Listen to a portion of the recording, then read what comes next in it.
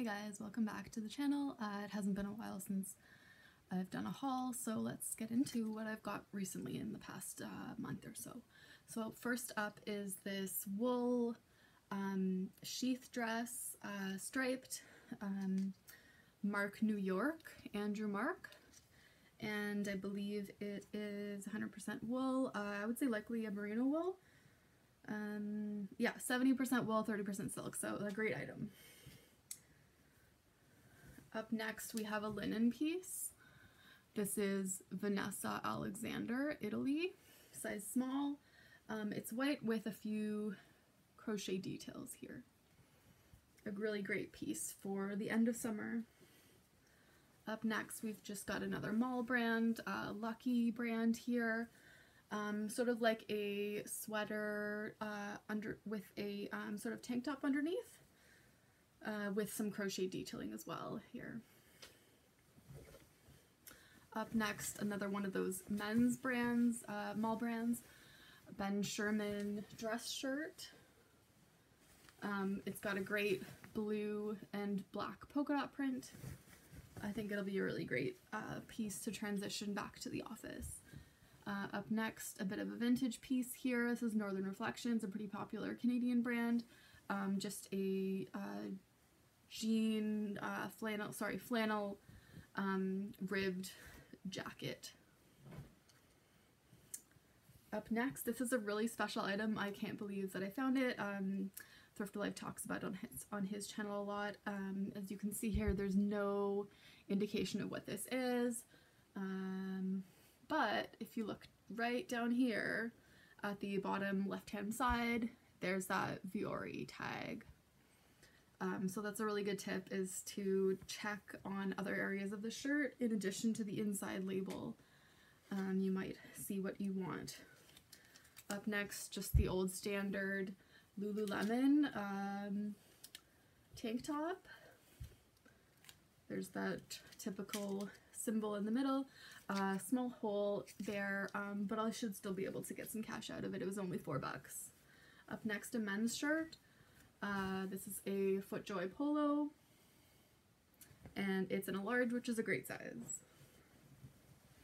Continuing in the men's category, we have a English laundry shirt. Um, just look for that really classic British um, label. And yeah, this uh, pattern really struck out with me.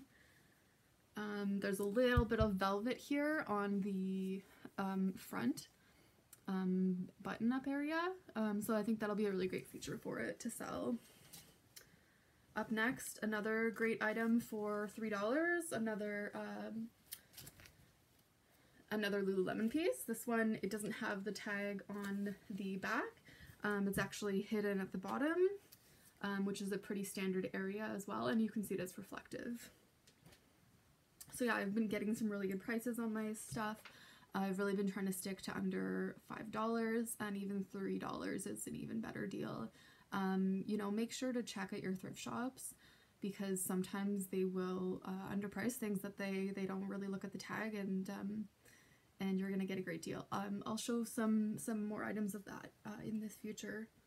Uh, this is a Smartwool. This again, five bucks. This would probably be normally 10 or 12 if they knew what it was. Um, a great striped shirt with um, solid sleeves, long sleeves. Um, yeah, this will sell really well. Up next, a vintage item. I don't go for too much vintage because it's just not an area that I know that well. Um, but it's this really really um, vibrant pullover sweater jacket from Nike. It's not Nike Pro or anything, but you can see it's got this huge, huge, huge um, uh, emblem on the front. And then we've got that color blocking, very 70s style there. So I'm hoping to get like 50 to 100 for that. Um, we're just almost done here with the clothing.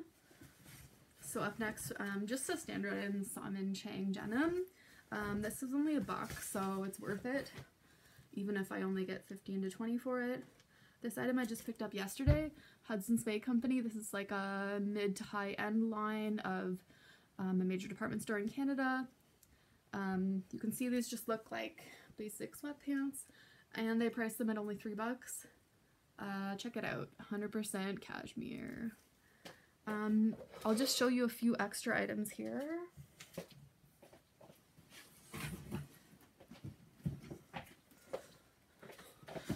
I always make sure to check bags and accessories. Um, we all know that like a good uh, purse or knapsack by a high-end brand will still be priced up at the thrifts. Um, but sometimes if it's in poorer condition, they mark it as is and they price it, it a way down. So this is a Lululemon tote bag, um, sometimes called their bowling bag. Um, yeah, so you can see it's got a really great pattern here. There's the Lululemon logo. The inside could use a bit of cleaning. But yeah, I paid 12 bucks for this, I think. I have another one that's even older. Um, definitely Lululemon uh, enthusiasts collect vintage bags, and I've seen these go for 50 to 100 bucks. Um, but even if I get 40 for either of them, one of them was two bucks from a garage sale. This one was 13, I think, from the thrift. So that's still a great price. Uh, up next, this is a consignment, consignment item that I purchased at a small store in a town. Um, Kate Spade, Kate Spade tote bag, uh, nylon, um, really great pattern, um, and it's got some really great detailing on the inside. It's not that bright, sorry. Um, and it even still had the care tag inside as well, as well as that uh, Kate Spade label on the inside. So yeah, I think it's probably authentic. Being nylon, it's not going to be as high value as an item as leather, um, but if I paid 20 I'm hoping to get um, between 50 to 60 dollars. A couple of other items I picked up, um, a couple of routers. Um, yeah, routers and modems, uh, you can still get anywhere from 15 to 50 to 100 dollars um, depending on how in demand they are and how new they are. Um, when I moved here across Canada, um, I didn't cancel my uh, internet in time, and so I just brought them with me as I was packing up, stuck them in the back seat of the car, uh, and then managed to sell both of them for I think 60 bucks total. So definitely be on the lookout for those. Um, yeah, I mean, people just see them as electronic waste, but um, there are people that are looking to save on buying brand new um, electronics for their uh, at-home internet. So, you know, stick those up. Uh, I suggest Kijiji or Facebook Marketplace and just do an in-person sale, um, maybe at a local mall or a coffee shop just for safety reasons. Um, but yeah, that's a really easy item if you can get them for free or for two, three bucks at a thrift. Thanks guys, see you in the next video.